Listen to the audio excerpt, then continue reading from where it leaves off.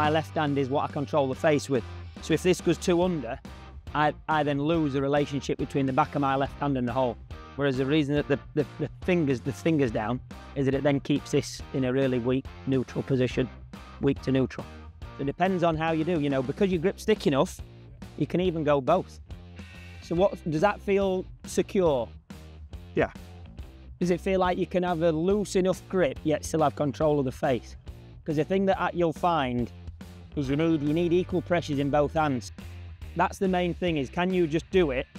Like the way I did it, I went when I was struggling, I actually went, I closed my eyes and I was like, right, how can I get what I wanted? Because I was left hand low for years.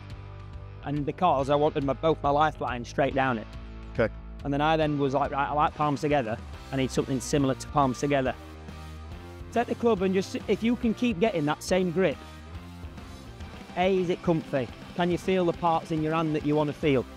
You know, that's where the grip becomes how it feels, yeah.